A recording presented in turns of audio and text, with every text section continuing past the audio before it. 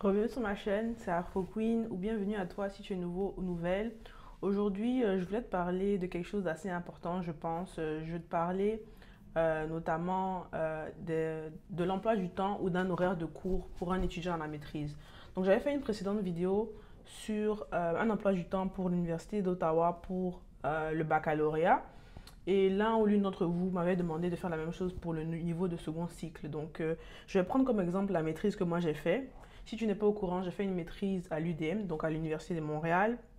Et euh, vraiment, la structure de la maîtrise est vraiment assez différente de la structure du baccalauréat. Parce que le baccalauréat, notamment, tu as 120 crédits à faire. Si tu ne sais pas c'est quoi un crédit, un crédit, c'est en fait, euh, ça détermine le nombre d'heures de travail qui sont nécessaires pour valider un cours. Et en général, un cours compte 3 crédits. Et euh, pour ma maîtrise, spécifiquement ma maîtrise que j'ai faite pour l'Université de Montréal, c'était un total de 45 crédits. Et la première chose vraiment qu'on m'a dit pour la maîtrise, c'est qu'il ne faut pas regarder le nombre de cours que tu dois charger, mais plutôt se concentrer sur le nombre de crédits.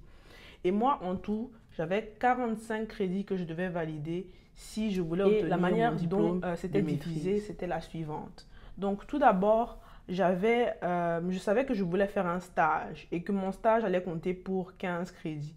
Bien entendu, toi, tu n'es pas obligé de faire un stage. Moi, c'est l'option que j'ai choisie. Donc, à l'Université de Montréal, j'avais le choix entre un stage, un travail dirigé ou un mémoire. Mais il me semble que les trois nécessitent d'avoir un directeur de stage ou un directeur de travail dirigé parce que c'est la personne qui va t'aider euh, à faire tes recherches, qui va t'aider à, choisir ton sujet, qui va te conseiller vraiment vu que cette personne-là, c'est en général un professeur qui est un expert euh, dans, dans, le domaine. Donc, moi, j'ai fait un stage et le stage comptait pour 15 crédits. Donc, quand je soustrais les 15 crédits aux 45 crédits euh, initiaux, il me reste 30 crédits. Donc, j'avais 30 crédits de cours que je devais valider. Et euh, l'option que j'ai choisie, c'est qu'à l'automne 2019, lorsque je me suis inscrit, j'ai pris 4 cours et ils valaient pour 10 crédits. Donc, 3 d'entre eux valaient pour 3 crédits chaque, 3 fois 3, 9. Et un cours valait pour un crédit. Et ce cours-là, notamment, ça s'appelait les cours du Cérium. Donc, à l'Université de Montréal, en fait, euh, pour le Cérium, c'est en fait des conférences auxquelles tu es obligé d'assister si tu veux valider ces un crédit-là. Et à chaque fois que tu assistes à euh, une conférence, tu dois envoyer la preuve en photo, en général à ce qu'on appelle la TGDE. Donc, c'est la technicienne, euh, celle qui s'occupe en fait du programme d'études en question. Donc, première session, j'ai validé 10 crédits. Session d'hiver, euh, j'ai fait 4 cours, 11 crédits. Donc j'ai divisé ça. J'ai fait 3 cours de 3 crédits et un cours de 2 crédits, ce qui fait 11. Je vais vous parler plus en détail des cours que j'ai pris plus tard. Mais euh, je vais d'abord vous montrer la structure que j'ai choisie. Ensuite, euh, quand est venu l'été 2020, ce qui s'est passé, c'est que vu que c'était en période de la pandémie, en pleine pandémie, j'ai fait ce qu'on appelle les écoles du Cérium. Donc j'ai fait les écoles du Cérium. En fait, ce que c'est que les écoles du euh, c'est un cours que tu as en condensé. Donc, je pense que c'était dans l'espace de une semaine. J'avais cours tous les jours, je pense 6 heures si je ne me trompe pas, parce que ça fait déjà deux ans. Ça fait, j'avais 6 heures de cours par jour. Et c'était vraiment en formation intensive. Donc, les examens étaient beaucoup plus proches, les travaux à rendre étaient beaucoup plus proches. Et on faisait tout sur Zoom. C'était vraiment le début de l'utilisation de Zoom. Personne ne savait ce qu'il faisait. Et euh, c'était plutôt chaotique, mais j'ai quand même réussi à valider ces trois cours-là. Donc j'ai pris 9 crédits durant la session d'été 2020. Euh, trois cours de 3 crédits chacun, donc ça m'a fait 9 crédits. Donc si on additionne session d'automne 10 crédits, session d'hiver 11 crédits, session d'été 9 crédits, ça me fait 30 crédits en tout. Et ensuite est venu le moment où j'ai dû euh, rechercher mon stage. Donc pour trouver un stage, il faut s'y prendre au minimum 4 mois à l'avance. Donc, lorsque j'étais en train de, euh, de débuter ma session d'été, même durant la session d'hiver, je pensais euh, où est-ce que je voulais faire mon stage et j'ai commencé à lancer les candidatures pour les stages. Et pour l'horaire de cours particulièrement, si mes souvenirs sont bons, parce que encore une fois, le temps passe super vite. Ça fait déjà euh, plus d'un an, presque deux ans que j'ai fini la maîtrise. donc, ce qui se passait, c'est que j'avais des blocs de trois heures euh, pour chaque cours une fois par semaine. Et euh, je cherchais un exemple, voilà. Ça, en fait, à la maîtrise à l'Université de Montréal, ce qui était différent de l'Université d'Ottawa, c'était que Euh, comme j'ai dit, la technicienne, celle qui est responsable du programme, était elle qui, nous inscrivait au cours. Elle nous envoyait des fichiers Excel où on choisissait les cours qui nous intéressaient et c'est elle qui nous inscrivait au cours. C'était jamais nous-mêmes au niveau du second cycle de la maîtrise qui pouvaient nous inscrire directement euh, aux cours euh, qui étaient offerts. Parce que lorsque vous allez sur le site web de l'Université de Montréal, pour chaque maîtrise, il y a une panoplie de cours qui sont disponibles, mais ils ne sont pas tous, disponibles en même temps à chaque session. Donc, elle, elle avait la liste de tous les cours qui étaient disponibles et elle nous mettait ça dans un fichier Excel et c'était à nous de choisir les cours qui nous intéressaient. Bien entendu, on devait, euh, on devait suivre une certaine, comment dire, un certain, parce qu'il y a un certain nombre de cours que vous devez avoir dépendamment de la spécialisation. Et moi, j'avais une spécialisation en économie, économie, développement et coopération.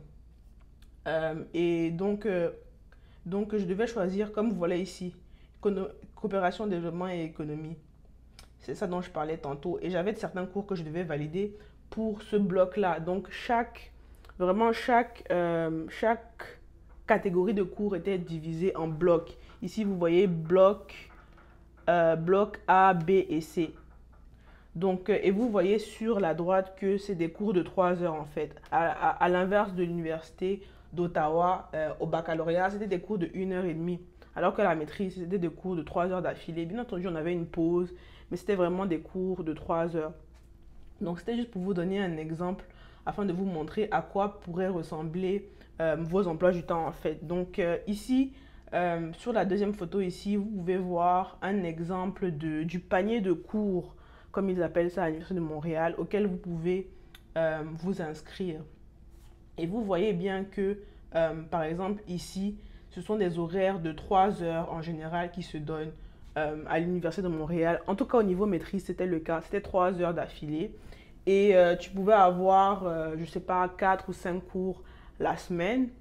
Donc, euh, je pense que l'horaire de cours était significativement réduit par rapport au baccalauréat. Mais encore une fois, c'était beaucoup plus intense. Moi, particulièrement pour le programme que j'ai choisi, c'était vraiment beaucoup de rédaction.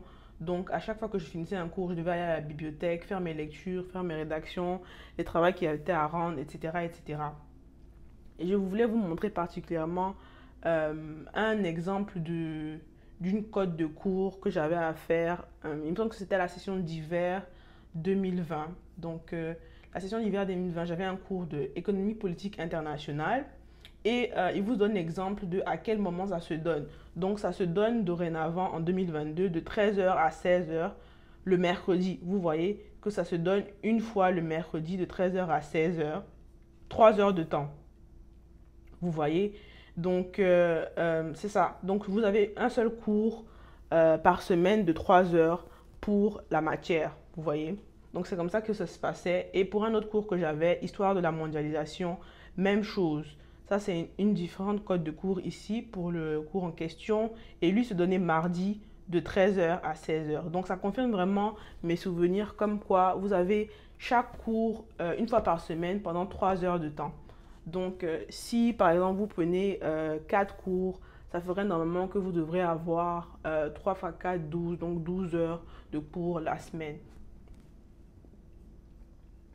Euh, je vais vous laisser les liens, bien entendu, de tout ce dont j'ai parlé aujourd'hui dans cette vidéo, mais je, voulais vraiment brièvement euh, aborder la question de l'emploi du temps ou de l'horaire de cours plutôt au niveau de maîtrise.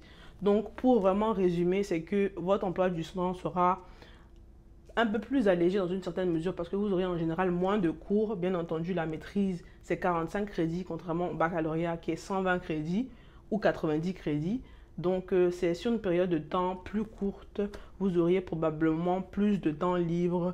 Mais euh, croyez-moi, vous serez vraiment euh, occupé à faire vos lectures, à faire vos rédactions afin de réussir votre cours et euh, d'obtenir votre diplôme.